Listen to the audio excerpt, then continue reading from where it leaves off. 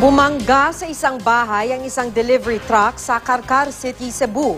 Lima ang patay. Makibalita tayo live kay Greggy Magdadaro ng GMA Cebu. Greggy? Yes, Maki, no, lima nga ang dead on the spot matapos mangyari ang isang malagim na aksidente dito sa Karkar City, dito sa Cebu. Pasado alas 12.30 kaninang tanghali nang bumangga ang isang six-wheeler sa bahagi ng isang bahay dito sa Karkar City sa Cebu. Dumiretso daw ang truck at nasira ang bakod. Dahilan para tumagilid ito at tumama sa iba pang bahagi ng bahay.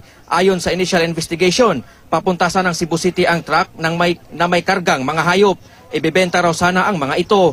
Lima sa mga sakay ng truck ang dead on the spot matapos pumailalim sa truck dahil sa lakas ng impact. Ayon sa Karkar City Police, nawala ng preno ang truck base sa kwento ng driver nito. Sa initial count ng Karkar Traffic Investigator, tatlo ang sugatan. Pero may mga nakuha tayong report na umabot na sa 21 ang nasugatan.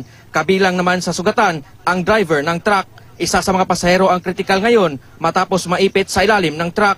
Inabot na isang oras bago siya marescue ng mga otoridad. Ilang mga hayop din ang karga ng truck ang namatay matapos tumilapon. Maki, sa ngayon hinihintay na lang ang statement ng driver ng truck ayon sa pulisya pero may nakuha tayong report na umakyat na sa anim ang namatay matapos mamatay yung isang kritikal sa Karkar Emergency District Hospital. At yan muna ang latest mula dito sa Karkar City dito sa Cebu. Greggy Magdadaro, Nagbabalita, Pilipinas.